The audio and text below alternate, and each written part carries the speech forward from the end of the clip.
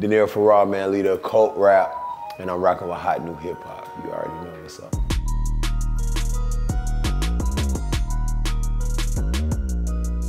It's the beginning of, of what you see. You know what I'm saying? Because there's so many artists that are that that once they emerge out of North Carolina, like it's gonna be crazy. We got a few right now. You know, you got J. Cole, you got DaBaby, of course myself. You got a few other artists coming out of North Carolina making some noise, but you have people that their wave haven't even hit. And they gon' I mean, we got a little spotlight on us now. I'm talking about they're gonna shine, shine like the, the, the bat signal on that bitch though. In a, in a few years though, for real. We got some crazy talent coming up out of North Carolina. Like real talk. You know, my lifestyle is pretty much the same. I do a lot of ducking when I'm in Charlotte though. You know what I'm saying? I do a lot of ducking like uh, old habits and stuff like that, places where I used to go. I try not to be a creature of habit in Charlotte because I still feel like there's this lingering energy of past shit that I done done before music that I'm always trying to escape. I feel like I'm always like being like escaping something when I'm in the city. So I spend a lot of time with my kids when I'm there or trying to create some type of content for the music. And the rest of the time I'm just ducking for real. Like like for real, like low key somewhere where I feel safe. You feel what I'm saying? Cause the city just don't I don't feel as safe as I used to there. Not that I feel like somebody gonna harm me, but I don't feel safe in my process just to be out and about everywhere. So I'm my kids are trying to create some type of musical content, whether that's in a studio or a music video, I'm ducked off for real, just chilling, trying not to be seen. I got 14 projects. See what I'm saying? Like, you know what I mean? You talking about back catalog, like these, and and that's why I'm that's why I'm so excited. I'm like, man, and I own all of the music for real. So once it hit, like damn digital streaming, you know, like I said, we're trying to collect the analytics on our own. So I want people to, I, am gonna start putting these things up on leadercultrap.com. So once the wave actually catch and people actually, not even the wave, but once people actually start taking notice, like in a major way, they can we can lead them straight to the side. We're taking it back to that grassroots way of connecting with the fan base. That that way, I don't have to blast on Instagram that I have a show and 10% of my following engaged because everybody's not a real fan. Some people are just spectators. But when I got this real real organic fan base that has followed me from Instagram to my domain, which is leadercultrap.com, and I have their personal information. I send out a personal invite. These people are my fans. They're gonna come. You know what I mean?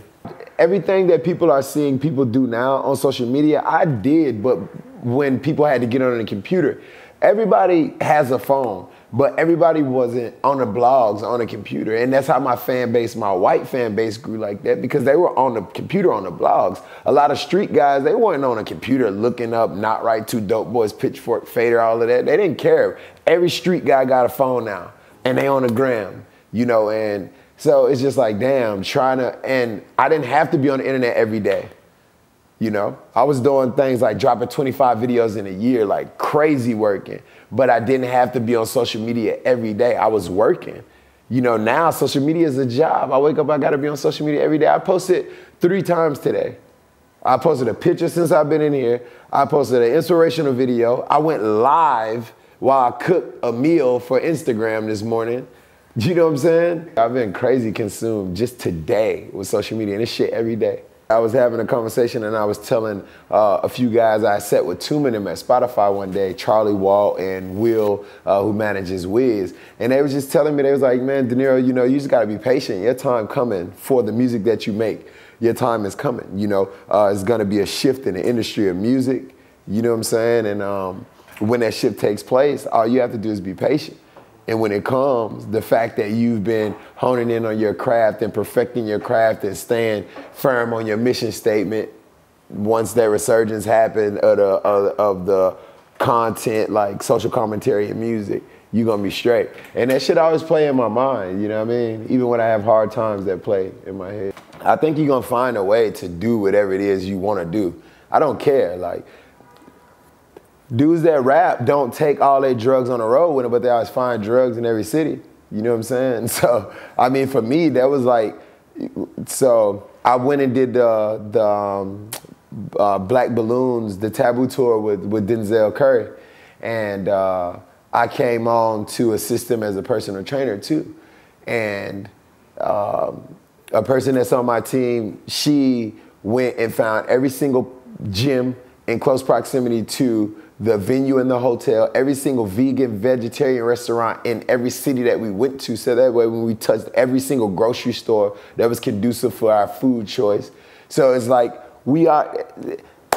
A dude touched down in LA, he already know where to smoke at. He already know the lean at. He already know where the where the women at. He already know. He done mapped this out. We mapped it out. When you serious about something, you gonna map that shit out we mapping it out. Like I'm serious about it. it. You know, my lifestyle ain't gonna be contingent upon what city I'm in. Like I'm gonna figure it out. Where the fuck can I eat? I'm gonna figure that out. Like we mapping it out. It just depends, cause every day I don't go to the gym. You know, I might feel like working out outside. Sometimes I call Brandon. We'll meet up at the park on, on Lafayette and get it in, in at the park. And now I've been having like those two-hour gym sessions where my mind literally goes into another place and space and I stopped feeling the need to rush in these sets, like having those set workouts of like, oh, I'm gonna go in here and I'm gonna do four sets of arms and this and this and this and this and this will be my workout and I'm gone. I'm literally like exhausting whatever body part I want to work out. I was in the gym today, like two hours. I did arms, I, I did uh, tricep, bicep, and I'm always gonna do my core. You know what I mean? And is is and legs. I'm doing legs like three times a week because I got little ass legs. So I got to get my legs up. You know what I mean? So uh, I don't really have a real regimen. I do what my body feels and what it needs. So I do core every day, but I do legs three times a day. And, and other than that, I do whatever I feel for real. Um, so now I'm just like recently diving into this whole vegan. And I hate saying like, oh, vegan, man, yeah, vegan. I hate that. That's so, you know what I'm saying? That shit wild to me. But um, yeah, so I like I'm in the vegan thing now. You know, I cut the dairy out. I was vegetarian before, but you know, I would jump back between that and pescatarian while I would do fish and this and that. My ex-girlfriend really put me down years ago. You know, she was the first ever vegetarian I had, you know, had in my square that close. You know, eh, where I could actually see the lifestyle and it was real. She would wake up and make me these big ass plates of fruit with water like every morning. And I'm like, damn, how much money do she spend on fruit, first off, to do this every morning? You know what I'm saying? Like every morning, she wasn't missing no mornings. I'm like, yo, she gotta be going and reing up when I'm asleep at the grocery store, because every morning, big plate of fruit. And it just made me feel so good, like spiritually, mentally, physically, when I would eat like that every morning. Then I would go back to Charlotte and eat like trash. And then after a while, I was like, man, this don't make sense. Like, eating like this makes me feel good. Eating like that makes me feel like shit. And insanity is doing the same thing, expecting different results. So I was like, yeah, I know I'm not crazy. So I was like, slowly but surely, I started leaving the meat alone. I was like only fucking with chicken. And then I went cold turkey, did the vegetarian shit, and had like this meat breakdown. and I relapsed and ate a burger and shit. And, and then I got back on it and this time it was more genuine. Like I did the research on what I should eat, you know, because I was dropping weight, what I should eat to maintain weight. So her, she really sparked it and it was genuine to me, so I just kept it going. When I be taking my son to the Chick-fil-A and they be getting them motherfucking Chick-fil-A nuggets and I see that Polynesian, my mouth be watering. I be having to be like, man, get this shit man, sometimes I'll pull up to the window, roll the back window down, and have my kids get their own food. Get your own shit, man. I ain't touching that chicken. Cause I be really like, my mouth be quivering. Like when I'm up at Chick-fil-A and I be wanting that spicy chicken sandwich, I be like, damn, with the pepper jack cheese though. Like, uh, I be like, damn, let me get the Southwest Chipotle base with no meat, just the base. Like, fuck. And they always hit me with bullshit like, are you sure you don't want chick? Give me the damn base, girl. Shit, stop asking questions. You know what I mean? The highest high and the lowest low since 2013. Man, I've been in this shit for a minute, for real. Um, highest high. I honestly don't feel like I've had that high, high, high moment, even in having a major label record deal 2014. That was a high for me, but I still felt like it was so much more. I would, I would say, uh, going on tour, having that bow down tour with Denzel Curry, that was like a high for me because I love to perform. So performing two months straight on the road, having consistent shows back to back, that was like the high for me. The low was, I would say last year for real, because uh, I felt unfulfilled, uninspired. you know, when it came to rap. I, I stopped doing music. I did like three songs last year. I went to barber school. like, I was just like ready to give up for real because it's like I've been at it for so long and I felt I was running out of gas. You know, I was losing momentum, not in the music industry, but just momentum with self and being in my career. And I, I just felt like I was losing myself. So I actually uh, took time off to recalibrate and just uh, you know get back. And I, I hate the term finding myself because I was never lost technically, but just getting back to being one with myself. It mostly came from like being aligned with myself. You feel what I'm saying? Because no matter what, like no matter how the label trying to stifle you or they trying to hold you back from this, that, as long as you like align with self and you know your purpose and you know where you're going, eventually you're gonna get there. Nobody could deter you from like you know the path. You feel what I'm saying? And I just wasn't aligned. Like I, I, felt that, like I wasn't aligned no more. You feel what I'm saying? Like on a personal level, and all of those other things added really started to weigh on me. You know, the fact that I had been in music, like you say, man, I was on here 2013. It's 2019. You know, we're approaching 2020 soon. Like, you know, and I was in it three years before that.